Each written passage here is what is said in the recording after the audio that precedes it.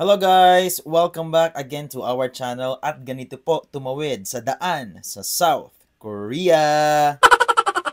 You remember me? He is the most cutest boy in my team. Oh, really?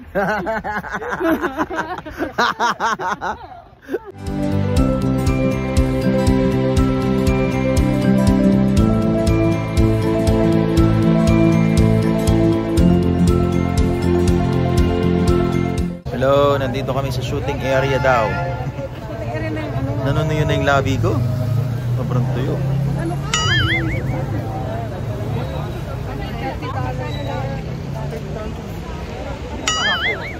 Shooting area daw to sa may Maker City C1. Hello guys, this is your Negosyante Singket and this is our day 5 in South Korea and our last day in South Korea. And now we're here at C1 Town. This is the shooting place for the movie or K-drama Vincenzo. And now we're heading to the Ensol Tower. So to be honest guys, ito yung pinaka nagustuhan ko sa travel namin dito sa South Korea. At para marating yun, kailangan yung mag-take ng cable car. So, I have this experience of cable car when I was in Hong Kong na nakakatakot dun sa Ocean Park. Pero dito sa experience ko na to, hindi naman ako natakot kasi hindi naman siya ganun kataas. And I really enjoy this. And at the same time, the view is very relaxing. Look at the trees. Look at the mountain. Ang gaganda talaga ng mga puno nila with their cherry blossoms. And ito po yung itsura kapag ka pumasok ka. So medyo malaki yung cable car niya and magkakasya yung maraming tao. So, ganyan namin in-enjoy yun and sobrang magulo lang namin talaga. Because we're namin sa aming travel. And then, eto na po yung view. So, as you can see, eto yung view namin while we're heading to the Ensol Tower. Ang ganda lang kasi kitang-kita mo yung mga puno nila and then yung city view dito sa South Korea. I don't know exactly kung saang city ito kasi may tour guide kasi kami and may tour bus. So, ito po yung ginagawa namin and I'm with my friends and business partners. So we're just enjoying the moment.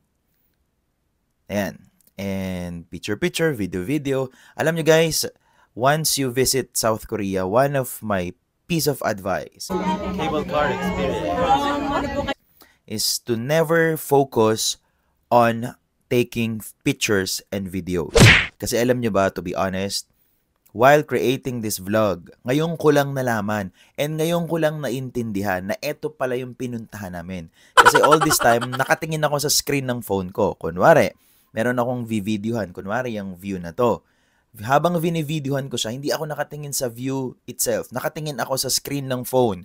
Kung okay ba yung nakikita, kahit na magulo yung mga shot ko na yan, kahit na nakakahilo kasi naiwan ko yung aking gimbals, pagpasensyahan nyo na, pero in-effortan ko talaga yan. So, I would highly suggest to enjoy the view and to enjoy the experience kasi minsan ka lang makapunta dyan. Unless you're working there and everyday mo siyang na pupuntahan. And for my case, minsan lang ako makapunta dito. So, I, I would really suggest for you to enjoy the view. Okay, so ito na po yung Ensol Tower. Nandito na kami. Ang ganda din doon guys. Ang dami ding cherry blossoms. Ang ganda rin ng mga puno.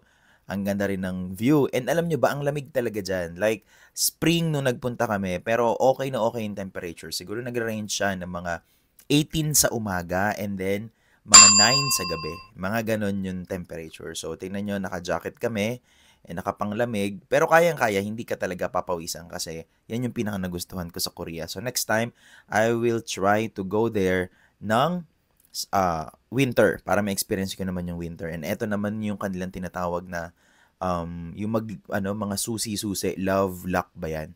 So may ganyan silang place doon if gusto nyo na ma-enjoy lang yung, I mean, if, if mayroon kang loved ones na gusto nyo magsumpaan dyan, yung parang sa Paris, di ba?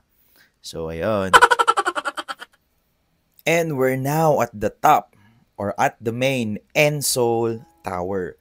So, ipapakita ko sa inyo ito yung itsura doon. Para siyang park na merong tower and then meron din parang mga parang may something establishment doon na pwede mong pasukan. I don't know if it's a mall or kainan siya. Pero what we did is we just traveled there like nag-roam around lang kami. Tanghaling tapat ito if I'm not mistaken. Pero hindi ko ma-feel yung init. Para siyang ano, para kang nasa aircon lang na room And sobrang, alam mo yung malamig, malamig. As in, nagkaroon ako ng lip burn dito sa travel ko sa South Korea.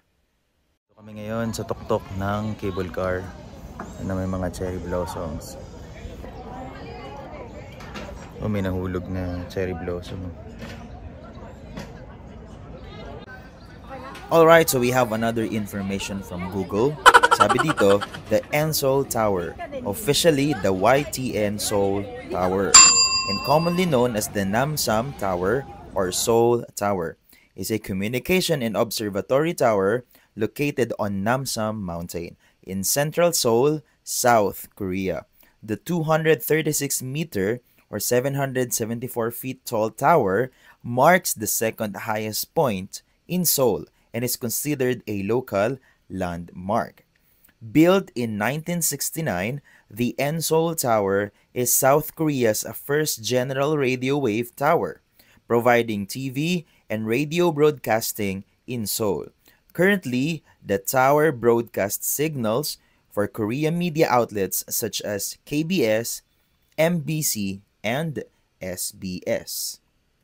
Ensol Tower is divided into three main sections, including the N Lobby, N Plaza, and the N Tower.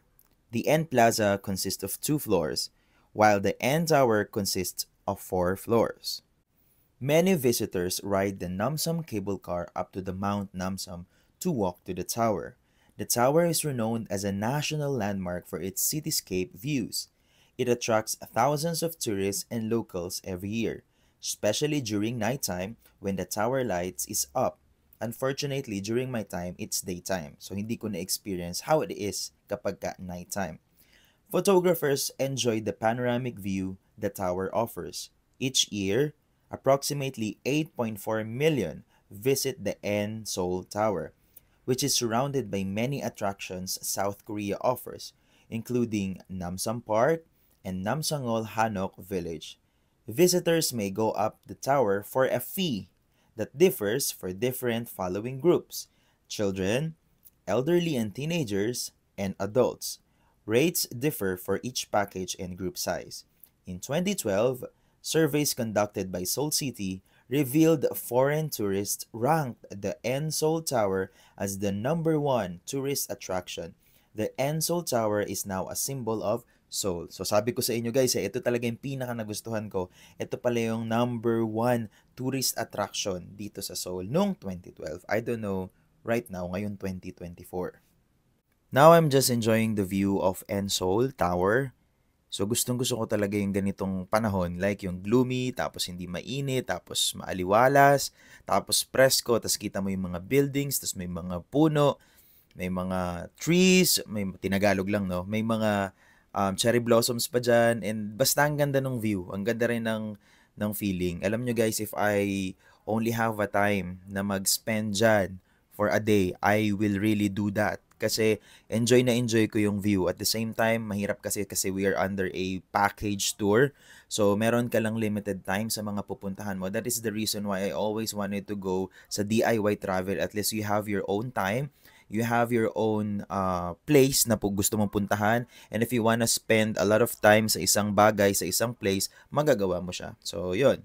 Now we're heading to a pine tree shop so hindi kami allowed mag-video dyan. Kaya wala akong na videohan pero they're selling actually expensive um, ointments and medications gamit yung pine tree. And we are now having our